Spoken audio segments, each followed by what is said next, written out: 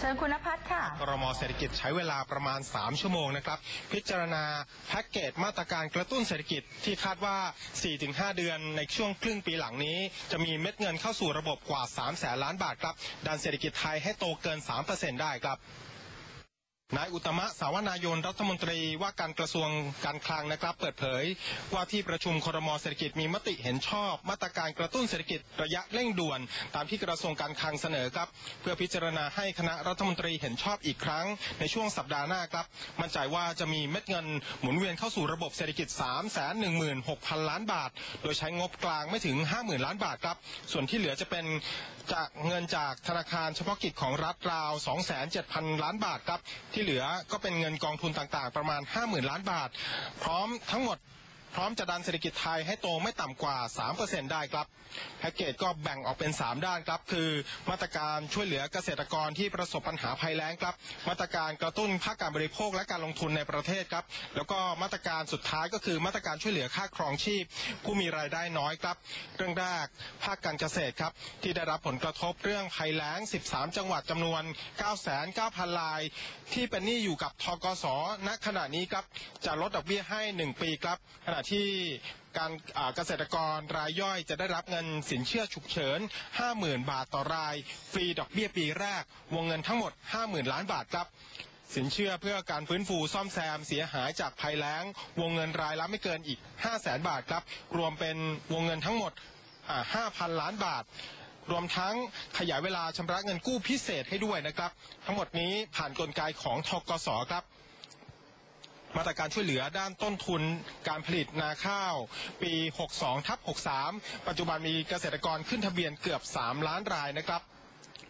ส่วนมาตรการกระตุ้นการลงทุนการบริโภคในประเทศ มีการสนับสนุนให้ประชาชนเที่ยวครับ ชิมช็อปใช้ข้ามจังหวัดก็ได้นะครับ โดยให้ประชาชนมาลงทะเบียนผ่านแอปพลิเคชันของธนาคารกรุงไทย เป้าหมายอยู่ที่ 10 ล้านคนครับ ประชาชนตั้งแต่อายุ 18 ปีขึ้นไป จะได้รับเงินจากการท่องเที่ยวผ่านแอป e-wallet นะครับ 1,000 บาท สามารถใช้จ่ายผ่านแอปได้ทันที และเมื่อใช้จ่ายเพื่อการท่องเที่ยว เช่น การซื้อสินค้าท้องถิ่น ทานอาหาร พักโรงแรมต่างๆจำนวนไม่เกิน 30,000 บาทก็จะได้รับเงินคืนอีก 15%เป็นต้น เรื่องนี้ต้องเสนอคณะรัฐมนตรีเพื่อพิจารณาอีกครั้งนะครับนอกจากนี้จะมีการยกเว้นพิจารณาการยกเว้นตรวจตาวีซ่าของนักท่องเที่ยวจีน และอินเดีย เพื่อกระตุ้นการท่องเที่ยวต่างประเทศด้วยนะครับ มาตรการภาษีเพื่อส่งเสริมการลงทุนในประเทศ มีการหักค่าใช้จ่ายหากซื้อเครื่องจักรจากการลงทุน สามารถหักได้ 1.5 เท่าภายใน 5 ปีครับการให้สินเชื่อผ่อนปลนกับผู้ประกอบการ SME ระยะเวลากู้อ่าระยะเวลากู้ 7 ปีครับ ด้านสถาบันการเงินของรัฐก็ให้มีการเร่งปล่อยสินสินเชื่อ ให้ SME แบงก์กรุงไทยและออมสินรวมเม็ดเงิน1แสนล้านบาทครับ และทอสกับออมสินก็ปล่อยสินเชื่อบ้านรวมเม็ดเงิน 52,000 ล้านบาทครับรวมทั้งมีการให้บสยค้ำประกันสินเชื่อโดยลดลดค่าธรรมเนียมให้กับ SME ในช่วง 2 ปีแรกด้วย ขณะที่ผู้สูงอายุจะได้รับเงินช่วยเหลือเพิ่มอีกเดือนละ 500 บาท และให้เงินดูแลเด็กแรกเกิดเพิ่มอีก 300 บาท โดยการช่วยเหลือผ่านบัตรสวัสดิการแห่งรัฐนี้จะมีระยะเวลาในช่วงที่เศรษฐกิจซบเซา2 เดือนครับก็คือสิงหาคมกับกันยายนนี้ครับ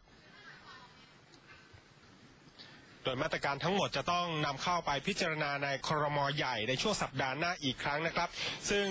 รัฐมนตรีว่าการกระทรวงการคลังบอกว่าอาจจะมีการปรับเปลี่ยนเรื่องตัวเลขนะครับ เพราะว่าครมใหญ่อาจจะมีการท้วงติงได้ครับช่วงนี้กลับไปทางสถานีครับ